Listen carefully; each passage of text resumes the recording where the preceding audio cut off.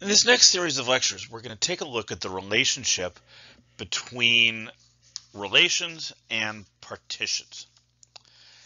And to start off, um, let's say we start off with a set, just just like our discussion of relations, right, always has. And let's assume that this set has a partition. Right, so visually, right, if I just kind of sketch something for this, right, remember what it means for something to be a partition. It means there are these sets that break up the entire set, right? Their union is equal to the entire set, and they are mutually disjoint. No two of them overlap each other. Then my claim here, and we're actually going to prove this in a minute, my claim here is that this partition induces a relation on the set. Right? And the way we define this relation is two elements are related if and only if there is a set in the partition such that both x and y are in that set. Right? So if we have two points here, these two points would be related. These two points here would be related. These two points, y and a, they wouldn't be because they're in different elements of the partition. So I have an example here for us to look at. Right, I have this collection of sets here, and these a sub i are a partition of the positive real numbers. And I, think before we jump in and start trying to show that uh, the induced relation has these three properties, it, it helps to kind of try to visualize what we're looking at here. So if uh, i is 0, then a sub 0 starts at 0, goes up to 1, includes the left endpoint but not the right. So that's a sub 0. a sub 1 starts at 1 and goes up to 2. a sub 2 starts at 2 and goes up to 3, etc. So once we've got the picture here, I think it, it's pretty clear uh, these sets are mutually disjoint. They don't lap anywhere, uh, including their endpoints. And their union, as n goes out to infinity, is going to be the entire positive real numbers.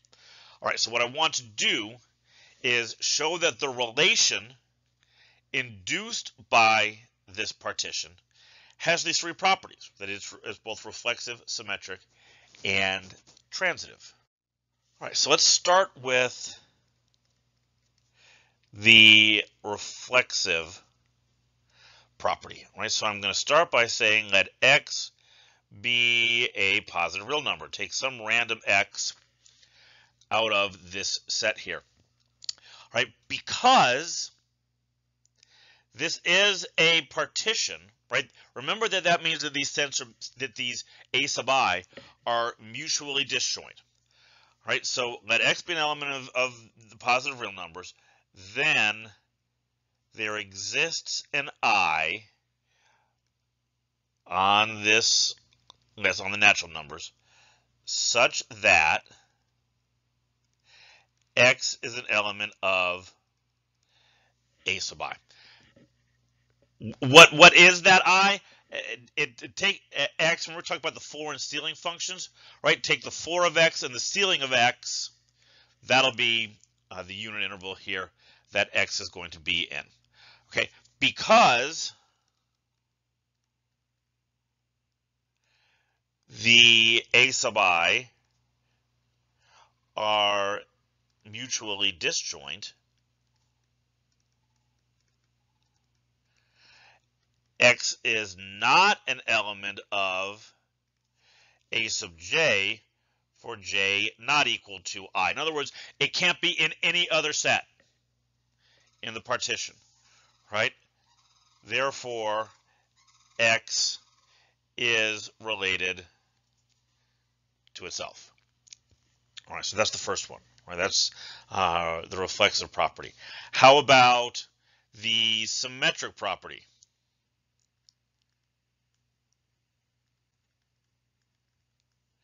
All right, remember how we do this, right? um, let x and y be elements of uh, be positive real numbers such that x is related to y. Well, what does this mean, right? Well, by the definition of our relation, definition of R, there exists an I in natural numbers, 0 up to infinity, such that uh, x and y are an element of a sub i. Well, if x and if x and y are in this uh, member of the partition, then y and x are a member of the partition, right? So therefore, y is related to x, which is what we needed to see, right? Therefore, the relation is symmetric. All right, so how about, see if I can squeeze this in down here. How about transitivity? as usual, this is kind of the trickiest one of the lot. So we, we need to take uh, three values out of the positive real numbers. So let x, y, and z be positive real numbers such that x is related to y and y is related to z. Well, again, right, there exists i such that x and y are in a sub i. And, and here's where, here's where it gets a little tricky, right? How do we know that z is in a sub i? Maybe z is in, in, in another one, right? So let, let's say and y and z are in a sub j. All right, so what I need to show is that i and j are in fact the same, right? And, and here's how we do that. We're going to do this uh, by contradiction. If i is not equal to j, then uh, y is in two different sets in the partition which it can't be since a sub i intersection a sub j is the empty set. The, these sets are mutually disjoint. Right? That contradicts, uh, for that to be true, that would contradict the definition of a partition. Therefore, i is equal to j and x is also related to z, which is what we needed to show. Okay, so now on the next um, on the next slide, um, now, now that we've, we've seen this for a specific example, on the next slide I'm going to I'm going to prove that this is true not just for this partition but for all partitions. All right, and the reason I wanted to go through this first is the proof of this in the general case is going to follow the exact same kind of reasoning for each of these three properties. So I've got the general statement here, right? Let A be a set with a partition, and let R be the relation induced by the partition. Right, so then this relation I'm going to I'm going to show is reflexive, symmetric, and transitive. So first, I, I need to be able to talk about this partition in more detail. So let a sub 1, a sub 2, uh, so on. Maybe this ends, maybe this is finite, maybe it's not. Our last one, right? Uh, my previous example, the partition was actually infinite. It's not going to make a difference either way. So let these a sub i be a partition of A. Right? Then remember what this means. Then we have uh, two things going on. Then the union of the A sub I is equal to A and for every uh, pair of indices where the two indices are different, a sub i intersection a sub j is the empty set. Right? First one is just says uh, the union of the of the partition elements is the original set. Second part there says the individual sets are mutually disjoint. Okay, so I got to show reflexive, symmetric, and transitive. All right, so how do we show that this is reflexive? All right, pick X, right? Let X be an element of A. Since the A sub I are a partition, there exists an I in the natural numbers such that X is an element of A sub I. Well, if it's in there, then it's in there, right? Therefore, X is related to itself. All right, so that's uh, reflexive. How about symmetric? All right, so let's let's start off here. Let x comma y be an element of A,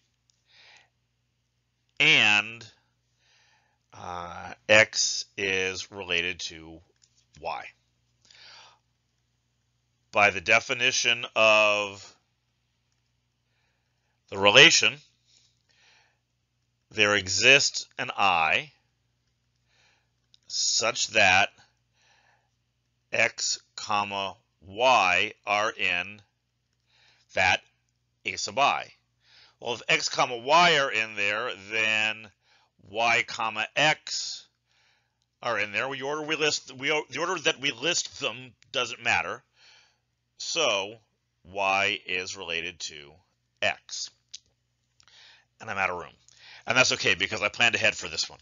Uh, this is the, this is the same theorem, right? It's just the statement of the theorem again, but uh, I, I put a copy of the slide in here because I knew I was going to need a little extra room for this one. So now we need to show uh, transitivity. So how, how are we going to start? Well, we're going to do, first I'm going to label it transitive, show the transitive property. Let x, y, and z be an element of A such that x is related to y and y is related to z. Again, by the definition of R, there exist numbers, natural numbers, i and j, such that x and y are in a sub i, and y comma z are in a sub j. And just like we did with, with my specific example, we need to show that i and j are equal. All right, so assume they aren't. If i is not equal to j, then x, uh, excuse me, not x, y is an element of a sub i and a sub j, but a sub i intersection a sub j is empty, right? Because the a sub j are uh, come from a partition, right? And there's our contradiction, right? This this y can't be in both sets if there is nothing that is in both sets. Therefore, i is equal to j and x is related to z, which is what we needed to show. And that's the third property. Right, so now we've shown all three of these, right? So anytime you have a partition on a set, uh, you, you just kind of get a relation for free. So in the next lecture, we're going to look at a special kind of relation. It's called an equivalence relation. And as, as you'll see in the, in the lecture after that, um, this is kind of a two-way street? A partition can induce a relation, and sometimes a relation can also induce a partition.